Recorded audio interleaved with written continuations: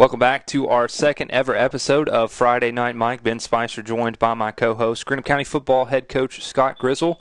Coach, we got a, a lot of really good feedback, a lot of listens, uh, a lot of views on YouTube and SoundCloud on our first episode. So I uh, just wanted to take a little moment here to thank everyone who tuned in to our first episode. Make sure you're sharing uh, this episode as well. I know we've got a lot of really good topics to discuss this week, uh, and a big win for the Musketeers over Montgomery County to improve to two and one. Coach. Yeah, absolutely. You know, just uh, excited to see some of the feedback and you know everybody getting out there and watching it and or listening to it, and um, you know we just want to keep making it bigger and better every week. And um, you know, like we mentioned last week, give us some feedback. Let us know what you want to you know hear us talk about, or um, you know what you want us to discuss, and we'll be happy to incorporate into the show. And um, you know, it's exciting. Talk a little football and. uh you know, obviously a, a, good week for us on the farm there. Got got our first win in our home opener, and uh, our first win at home this season, I should say. So, uh, you know, exciting, exciting time there, and uh, on to another week. So we're we're already right back at it today, getting ready for the next one. Getting set for week four in Kentucky high school football, uh, college football. Uh, first big weekend uh, was last weekend, and then you got the NFL coming back today. I know uh, you were texting me; you were a little fired up about a topic that we'll discuss, and of course, we'll talk about Greenup County and, and some high school football here coming up. But uh, you guys run the spread offense, air raid offense, if you will, at Greenup County. You texted me the other day and said, you know, announcers, college football announcers, were just roasting these head coaches, offensive coordinators for sticking with a spread offense in a goal line, short yardage situation. And you said that you had something that you wanted to say about that because, I mean, honestly, I've always wondered the thought process in that as well. Is it just something you know you're you're used to being in that formation and you don't want to mix it up? You're more comfortable with that. All your players are more comfortable with that. What goes on uh, in the goal line situations in a spread offense? Yeah, I think there's there's obviously something to be said and benefits to getting under center in those situations. Um, and it's not that I'm against it. You know, I mean, um, even you know at Greenup here, we're we're in the shotgun probably 99% of the time, but we have an under center package that we can go to if we feel like we need it. But to me, the biggest the biggest frustration just watching that you know some college football this weekend where those guys just absolutely bashing. Uh, it was Michigan, and Michigan was down there, you know, in the red zone, and um, they, they stayed in the shotgun. You know, they were just man, Harbaugh is always under center. You know, I can't believe Harbaugh's letting his offensive coordinator do that. Blah blah blah. And to me, you know, it's it's going back to what you said. That's the exact reason is you know, if you're in the shotgun 99% of the time, why would you want to change your quarterback center exchange yep. at the biggest moment of the game? You know, when you're on the five yard line or closer, getting ready to score, um, your quarterback's comfortable catching that ball in the shotgun. Your running back's comfortable taking the handoff with that timing and that, you know, footwork and all that. Um, because getting under center don't just change the quarterback center exchange. It changes the running back's footwork. It changes the quarterback stance, you know, a lot of different stuff. So to me, it's just, you know, do what got you there. You know, I'm a firm believer when you get in the red zone, um, when you get inside the, the goal line situations, you know, you got there for a reason. So don't try to get fancy or change anything. Um, you know, we're going to stay, we're going to stay in the shotgun 99% of the time in those situations, unless maybe we have a new formation that week that I feel is an advantage to us or whatever. But I think you just go with what got you there a lot of people have the, the thought process, and I don't know if this is, is true or not, but once you get inside the 10, once you get inside the 5, of course, the field becomes more condensed. And in that spread offense, you know, you're trying to spread out the field, but once you get into the red zone, you've got shorter yardage to work with. So does that factor in at all, or, or do you still just run with the stuff that you go with the whole time, or do you have to switch your play call up to where uh, it's shorter routes, shorter, shorter passing options for you, or how do you approach red zone offense? Yeah, you definitely have to make some adjustments with you know the passing game and your routes and things like that, and that's something you have to work hard in and practice. So we're going to have a we call it the scoring zone, um, which is from the 20 yard line in, the plus 20 to the goal line, and um, we're going to have like a score zone period every day in practice where we're repping.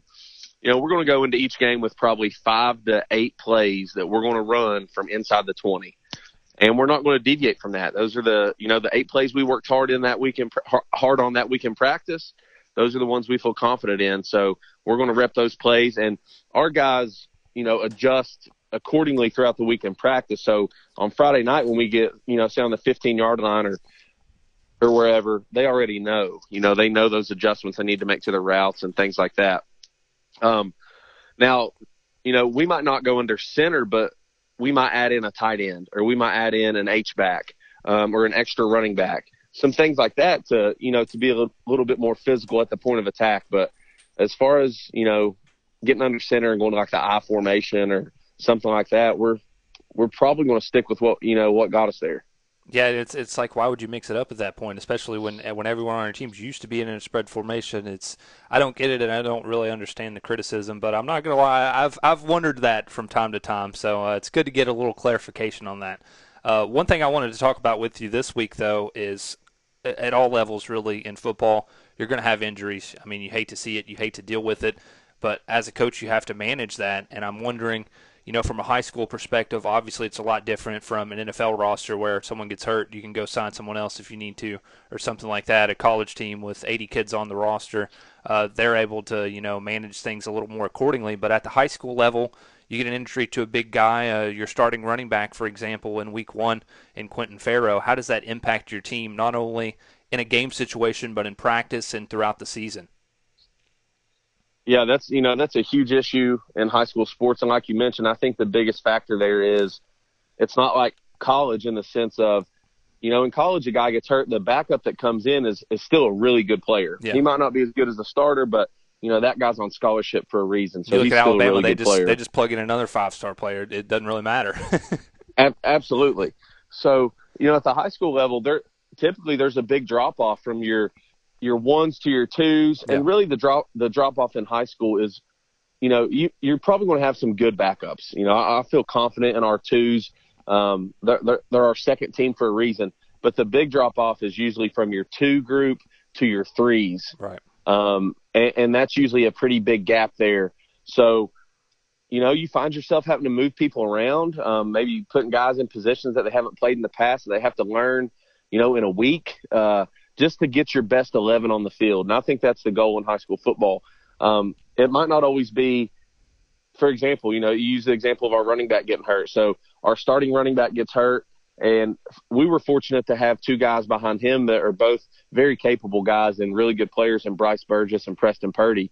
Um, but in some situations, you might have to take, uh, you know, your starting your best receiver and put him at running back yeah. just because that's what gets your best guys on the field. Um, and something else that it really impacts are the formations and the personnel that you play with. So, for example, something we're going through right now is we had our starting running back get hurt, and then one of our starting receivers, Braden Craycraft, was out three weeks with a concussion. So we were really thin at receiver anyway. Losing Craycraft, we've pretty much had to go to all tight end sets and using an H back a lot more than we ever have. Um, if you watch any of our film from the last three years, we're pretty much four, four and five wide receiver sets all the time. The last two weeks, we played with a tight end and an H back almost every snap because we just simply don't have the depth at receiver to play four, four wide receivers right now. Um, and that's something in the preseason, you know, we didn't plan on that. We didn't have maybe that package in or that personnel grouping in, but it's something as a high school coach, you got to adapt on the fly and you have to really trust your assistant coaches um, to get those guys ready, you know, in those new positions. So um, it, it's a challenge, but it makes it makes makes each week kind of interesting because you never know, you know, what you see on film from your opponent one week might be something totally different the next. you know, like we're playing Minford this week, and they're a traditional, uh, you know, they're in the spread, but they play with an H back and a, a tight end or a fullback a lot, and you know, they might have an injury and be in five wide empty this this week. You never know. So that's that's kind of what makes high school football fun and interesting are the the adjustments you have to make from week to week. And I was going to say, fortunately for you guys, you know that H back position, Garrett Kinney's kind of versatile. He can go out wide, and I know you've put him out wide in some formations as well. But it does mix with your game plan a little bit, and uh, especially when you have an injury like that in game. You know, Quentin Farrow got hurt in that game against Raceland early on. Uh, Braden Craycraft later on in the game, but for Farrow, I mean, he was going to be the workhorse. I think he had five carries or something like that on the first two drives, and then you have to sort of rely on your quarterback and your running backs to step up and fill that void. And I know Eli Salmons in that game uh, ended up carrying the ball, I think, over 20 times or right at 20 times. Uh, carried the ball a, a, lot against Fleming County as well, but you kind of dialed back from that uh, in that situation, and I think that's something that you have to plan for as well, especially with your quarterback. Uh, you need him. Obviously, he's very important on the team. So, did you maybe take that into consideration this week? Because uh, I think I had Salmons only finishing with five carries, so just trying to kind of manage manage his uh, hits and things like that to get him uh, good to go throughout the rest of the season. Most definitely. I mean, he's he's obviously a very important piece to the puzzle for us. And, you know, our goal every week, so we keep a hit chart on our quarterback. And, you know, we'll do that, you know, long after he's gone. It's not just because of Eli, but that's something that we take, you know, very seriously is how many hits is our quarterback taking per week? And we like to keep him under 10 hits. That's, that's sacks, that's rushing the ball, you know, that's hit after the throw, everything. And, you know, when Quentin went down the first game, we we really had to extend those hits for him. Um, it's just what we had to do, what we felt like we had to do to win the game. Um, but you know, on a perfect week, on an ideal week, we like him only taking eight to ten hits. So that was something uh, last Friday night against Montgomery County that we felt like we could uh, keep him in that range. And I believe looking back, he only had five contacts um, throughout the entire game, and most of the you know most of those were called run plays. So um, that's that's the goal every week is to keep him clean and keep him off the ground. Um, but at the same time, you get in those big situations, you got to do whatever it takes. And he's obviously a special player, so you got to put the ball in his hands in those big situations. Looking back to last week, and this has nothing to do with the game. Well, I mean, I guess it does in a sense, but uh, it's JFL night for your program. Obviously, halftime is when uh, you introduce all the rosters for the JFL teams, the elementary and middle school teams, and things like that. You're in the locker room. You have nothing to do with that. So I'm curious how important it is to have those parents, those boosters, and, and all that great support in the program, and just how big of a jump was it from you, you know, going from a coordinator role to a head coaching job, having to take on all those events and coordinating all those things and working with all the parents and things like that that's yeah, that's one of the biggest adjustments going from an assistant coach to a head coach for sure is dealing with, or I should say, working with the booster club, the administration, the parents, um, the school personnel. You know, like um, your public relations people at school, all that type of stuff. You're really in an administrative role, so you have to learn to be very organized. You have to learn to delegate certain things to certain people um, that was one of the things that I really struggled with at first was, you know, telling people what to do. And that's something I still struggle with as a head coach sometimes is being direct and being upfront with people and saying, I need you to do this because I don't like, I never like to feel like I'm bossing anybody around. And I never like to feel like I'm, you know, be, you know, being that way towards somebody, I guess, where I'm telling them to do a certain job. Um, but you just have to learn to do that and you have to learn to be very upfront with people and I can't say enough about how great our booster club and our administration have been at Greenup. It's been awesome. Um, you know, we they raise a ton of money. Um, they work extremely hard, and I think Friday night was kind of a, a, a culmination of everything. You seen the field looked incredible. You know, for the first time in four years, um, I feel like our playing surface is one of the nicest in the area. Um, the the new scoreboard, the landscaping around the scoreboard, and that was actually done by uh, a teacher at the high school. Her name is Carrie Davis, and she took her agriculture classes out there every day for a week and worked on that scoreboard for us. And that was just really a good sign for our program that, you know, people care. People are starting to be invested in Greenup County football. And, you know, every Friday night when those students that worked on that landscaping are in the bleachers and they see that, that's something they can be proud of and feel like they, you know, they have a part in when we win a game. So it's just awesome to see all the support and it makes a huge difference. You know, our players feel it. You can you can feel it in the atmosphere at practice and in the locker room. They know that that this thing's starting to to mean a lot to a lot of people. And to me that's that's a great sign. Yeah, they always say, you know, to build a program up, it takes a town, it takes the community, and how, how, important is it to have that investment not only from your players, not only from your coaches, not only from you, but the community, the boosters, getting fundraising, just stuff behind the scenes that maybe people don't see on the forefront that all comes together on Friday night to, to build that great atmosphere that we saw at the farm last Friday. Yeah, it takes a lot. And, you know, our, uh, our head basketball coach said, you know, I was in his interview process And one of the things that he said that stuck out to me was it takes a village. You know, that's kind of one of the mantras that he used in his interview of how to to build the basketball program there. And the same thing's true in football. It takes it takes a lot of people and a lot of people caring and putting in time to make this thing go. Um, for example, you know, we feed our kids. So we're going to feed our players every Monday for JV games, every Thursday for freshman games, and every Friday before the varsity game. Um, we don't let our players go home after school. Uh, that's one of the things Greenup that's that's another challenge is, you know, we feel like if we let our kids go home, then you know you hope you get all of them back, but some of them have 30 minute drives home. So we just keep them after school. And our booster club does a fantastic job in feeding our kids and making sure they have, you know, a proper, not just any food, but, you know, nutritious food and things that will help them prepare for the game. Um, but, you know, that's a task every week, just organizing the food, getting with my booster club president.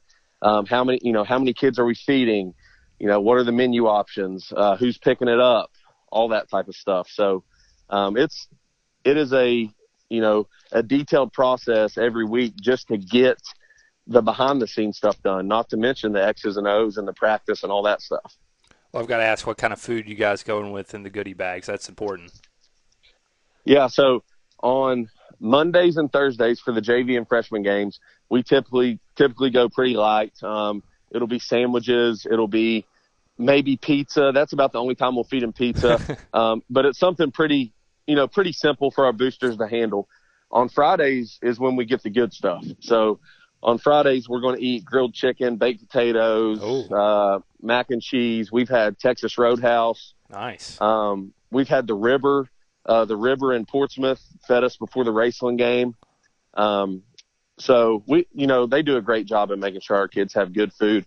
Um, you know, not overfeeding them and, you know, not giving them anything that's going to make them tired or sleepy, but you know, just a, a good source of protein and a carbohydrate and some type of vegetable. That's kind of the the recipe. You know, a, a grilled chicken, baked potato, and green beans. Something kind of simple but nutritious and something they'll enjoy.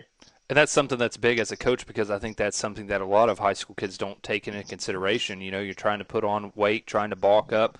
How important is nutrition uh, in, in doing something like that, and not just eating good foods, but watching what you're drinking, things like that, making sure you're hydrated. I mean, that's also of utmost importance this time of the year when it's still pretty hot outside on Friday nights. Definitely, and we're you know we're talking to our kids every day after practice about hydration, um, nutrition. Our strength and conditioning coach, uh, Coach Moore, and Coach Tony Salmons, they're on our kids constantly about what they're putting in their bodies. Um, you know, we we have a rule on Fridays that if we don't see our rota- our rotate guys, so the guys that are going to play on Friday night, they have to be carrying around a jug of water at school. So when a teacher sees them in the hallway or a coach sees them in the hallway, they better have that jug of water with them, drinking out of it on Fridays. And um, you know that's that's a little thing, but I think that kind of that gives you an edge over teams that don't take that stuff seriously. Um, you know, if we're feeding our kids good food before a game, then to me, that's an edge over a team that's maybe going home and the kids are eating whatever they want, or they're feeding them, you know, pizza, or they're feeding them, you know, chicken wings or something like that. That's, you know, that's not really going to provide any type of nutritional benefit throughout the course of the game. Well, I've got one for you, Coach. When I ran cross country, uh, I don't know why my dad did this. I don't know if he wanted to see me fail or what, but he I would ask him to, to pick me up some food, and this was my pre-race cross country meal in high school. I would eat a 20-piece chicken nugget and a vanilla shake from McDonald's, and then wonder why I struggled to finish the race. hey, cross country might be a totally different animal, though. That's uh, a long. No, I did not do well. well, look I remember in Go high ahead. school, I would eat. I would have a Pepsi and a Snickers before every practice. So that was my pre-practice every day. I remember uh, my senior year too. Uh, Greenup County played Johnson Central, and I don't know if you remember uh, one of the the best running backs I can recall, maybe over the last decade or so. J.J. Jude there at Johnson Central, phenomenal athlete. Uh, I remember they were playing at Greenup County this year. It was it was 2011, and J.J. had a big game. We were walking around, me and Darius Jackson over on the on the Johnson Central side, and we see him over on the sideline. This is in the middle of the game, and he's drinking a Mountain Dew, and I was like, "What? How? how does that happen?" I, it was it was crazy. What would you do if you caught one of one of your players drinking a Mountain Dew in the middle of the game? Oh, they would get right on the spot. So we we have this thing we call we call it getting right, and anytime one of our players breaks a team rule or anything like that, they got to get right, and that's 20 burpees. Ooh. So, so, so in game sideline, 20 burpees right there? Oh, yeah, no oh, doubt. man. Yeah, so it's nothing too crazy. I mean, 20 burpees isn't extremely tough or anything, but it just sends them a little message, and we think, you know, it kind of it gets their mind where it needs to be, maybe get their attention a little bit. And we can, you know, we can make that get right times two or, or whatever. but, um, yeah, so like if a player walks into one of our team meetings and he's late, he gets right, right there on the right spot. Right there on the spot. I like that. Yep.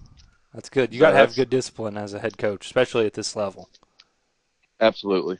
Well, I wanted to move on and talk a little bit more about another aspect uh, that I think people don't really think about a whole lot. And looking at your schedule, and, and I'm a big fan of this. I, I, said it on Twitter the other night. Uh, getting to play three teams in a row now from Scioto County. That's where I Actually started out my sports reporter career over there in Portsmouth. So I think it's really cool that you guys get the chance. You know, you got Minford coming up this Friday, Wheelersburg at home the next Friday, and then you go to historic Spartan Stadium uh, to take on Notre Dame. Uh, the Friday after that, the last Friday of September. So, how did you get those games on the schedule? Was that all you? Is that something that the athletic director Matt Gilbert works with? I know last week you said Coach Egley sort of sent you an email last year and said, "Hey, we'd love to get you guys on the schedule." Just what goes on to scheduling games, and what factors do you have to take into consideration when you schedule those? Yeah, so for me, that's one of the the more fun parts of uh, being a head coach is getting to make your schedule. You know, that's kind of you know, you play like NCAA football on Xbox or whatever when you're younger, you know, and, you know, I always liked making the schedule out and putting, you know, kind of strategically piecing those games together. So that's always a real fun time. And I know uh, a lot of head coaches enjoy that. So every two years in Kentucky high school football, your schedule rotates. You're on a two year contract for all these games. Um, when I got the job at Greenup, they were in the first year, so Coach Mullins had already assigned all the new games. So for my first two years at Greenup, I was under the schedule that he put together. Um, so we got a chance to redo it, and obviously wanted to get some Ohio schools in. Um, you know, I feel like at Greenup we're more we're closer to that Wheelersburg, Portsmouth. A lot of our population is in South Shore, so we're closer to Wheelersburg and Portsmouth, and there's a lot of good tradition and good rival, rivalries there between, you know, Greenup and Portsmouth Notre Dame, Greenup and Wheelersburg.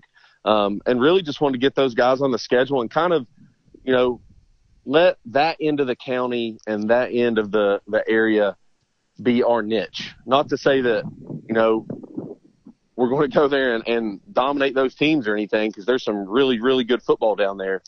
But, you know, you got Raceland, Russell, Ashland, Boyd County, kind of all in the Ashland area. And we felt like it was maybe an opportunity to get some games down in the Portsmouth area um, and kind of explore that side, you know, that side of the river down there. So, um, you know, I got with uh, Coach, uh, the Wheelersburg head coach, my first year at Greenup, Coach Woodward, sorry. And um, my first year at Greenup, we were at a seven on seven, and he said, "Hey man, when you you know when your schedule rotates, would you guys be interested in playing?" And I was like, "Absolutely." Um, and that was, you know, three years ago. So we've kind of kept that. It was just a, an agreement there on the on the practice field at Raceland, and we kind of kept that agreement. And sure enough, when the schedule came up to rotate, and I gave him a text, and you know, we made it happen. So I think that's going to be a really fun game for both schools and both communities. That's a historic rival that I think there's going to be a, a huge crowd there, and um, you know, obviously two good football programs going at it, and Wheelersburg has a ton of tradition, so it's going to be a fun environment. I talked with Coach Salmons. Uh, I think it was last year. You know about playing. He, he had Valley, Lucasville Valley, and uh, Portsmouth West on his schedule last year. Two teams from Scioto County as well. And I just kind of asked, you know, what went along with that. And he says sometimes it's hard to even find games. I don't know if that's just location issues or or what it is. But have you had issues maybe finding teams to play and, and to put on the schedule here in your last couple years at Greenup County? It is, and you know, I think it's an issue um, it's an issue everywhere, but here locally, um, you know, I kind of feel like you have you have a wide variety. You have Class A teams all the way up to you know 3A and 4A, including Johnson Central. So, you know, you get some teams just don't want to play bigger schools and and things like that. And then take Raceland for an example, and um, obviously, you know, a very good program. Well, there's not a lot of 3A or you know bigger schools that want to play Raceland right. because it's kind of one of those catch 22 things. If you beat them, then you probably you know people are going to say, well, you should beat them. They're a 1A school, and if they beat you, then it's an upset. Right. Um, it's like now, play, it's like scheduling Army and Boise State in, in college. Exactly. Now, I, I personally don't feel that way because I know they're a good program, and yeah. I you know I, I don't feel that way. But from the outside looking in, I feel like some people you know, feel that way about it. And then, you know, for us, um, just being, you know, 100% honest about it, there's some local teams that didn't want to play us because they know we have a really good quarterback and they don't want him on their schedule. Yeah. and it can be, it can just be as simple as that because, you know, they're trying to win games too. Right. And, um, you know, I think there's a, there's a fine line there. Um, me personally, I want to play good teams because I want my kids to be prepared for the playoffs and for district play.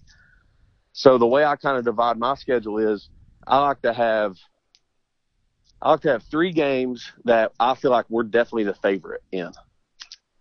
That you know, three games that I feel like if we play average to a you know above average, we're definitely going to win or we should win. Um, then I like to have three games to where we're probably the underdog. We're you know we're going to have to play our best game to beat these guys. And then the other four games, you know, you like to have your district games, um, and those you can't schedule. Yeah. So that's that's kind of the way I divide it up. Three games that I feel like we're the favorite, three that I feel like we're the underdog, and then you have your district games. I'm not going to put you on the spot and ask you uh, where you're going to qualify each each one of those teams that you're playing this year, uh, what category you would put them in. But before we wrap things up, uh, I just wanted to is there anything else you want to touch on before we finish thing out? What are you looking forward to this week as you take on Minford at home? Yeah, just really looking forward to another opportunity to play at home, and you know that atmosphere Friday night was awesome. So I hope we can you know make that even bigger and better this Friday night, and um, a, a really good quality football team coming to town. I've had the opportunity today to watch them on film and start that process of breaking them down and um, evaluating their players and you know, they got some big, strong kids. Um, like we mentioned, their their running backs are really good player. Their quarterbacks are really good player. So it's going to be another challenging week, and um, we're looking forward to it. But you know, I think there's a lot of a lot of good football around the area this week, and to me, this is kind of the time of the year where you start to really find out, you know, where everybody's at as a team. Yeah. Um, you know, week one, week two, you're still kind of filling everybody out. There's not a lot of you know, a lot of data, so to speak, or, or whatever out there um, to evaluate. But now you can really start finding out, you know, who's who's the top tier teams and who you know who you're looking forward to uh, to watching in the playoffs and who can make a run and things like that. So to me, this is kind of the the really fun part of the year. You know, you finish up maybe some of your pre-district games, um, and then you know district schedules will be here before we know it, and that's when as we all know, that's when it's really important, those district games. Coach, as always, we appreciate your time. We're excited to talk to you. We're excited for this week as Greenup County gets set to take on the Minford Falcons at home. Looking forward to that one. That's a game we'll be out there for the first time with MyTown TV, and of course, you can tune in on the Cool Hits Sports Network as well if you're not able to make it out. Uh, make sure you share, leave us some feedback, let us know what you want to hear on next week's episode. As always, uh, I'm Ben Spicer for my co-host Scott Grizzle. Thanks for listening to another episode of Friday Night Mic.